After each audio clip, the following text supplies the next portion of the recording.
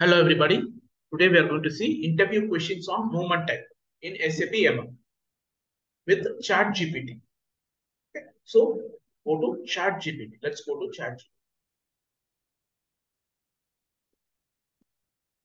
So this is the questions question I have asked in ChatGPT. This is the question. Let me again ask the ChatGPT. I have logged first of all I have logged into ChatGPT and I'm just typing this movement types in SAP present.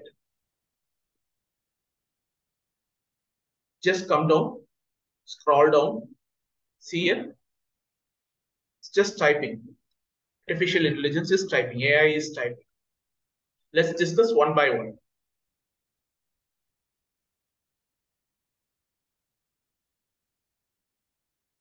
So these are all the major movement types available in the SAP MM, inventory management. And they may ask you in the interview.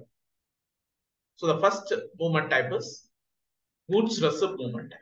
One not one. Already I have posted many of the videos, many videos in the YouTube and you can watch that. Goods receipt movement type one not one. For standard movement type. It is a standard movement type. Purchase order, create the purchase requisition, purchase order and goods receipt. When you do goods receipt, 101 is the standard movement type. Okay.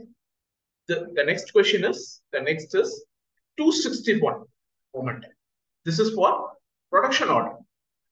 Issuing the material to the production order. Okay, that is 261. This is also, I have posted many videos of the production order and I'll post it in the description. You can watch it. Stock transfer order. Movement type is 301, 305, 303 and 305. 301 is one step procedure. 303 and 305 is stock in transit and receive the stock in 305. Stock transfer order. That also I am just posting it in description below. Just watch it. This is stock transfer. They may ask you this movement type in the interview. 301, 303 and 305. One step procedure is 301. One go. If you post it in one go, it will go. 303 is stock in transit. Sending the material from one plant to the other plant. 303. Stock will be in stock in transit. 305 is receiving in the plant. Transfer posting. 311, 330, 350. Same. It is between storage location to storage location transferring of stock from one storage location to another storage location. 311 is 311 is from one storage location to another storage location. Okay, one go. Within with one 311, you can send it in one go. 313 is stock in transit and 315 is receiving the stock.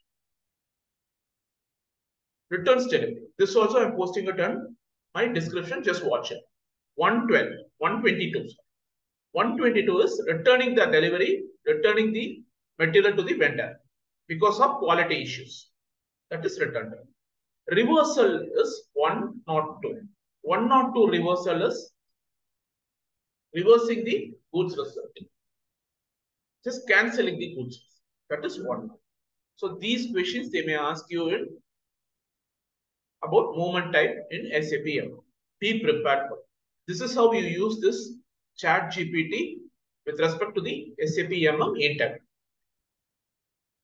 Thank you.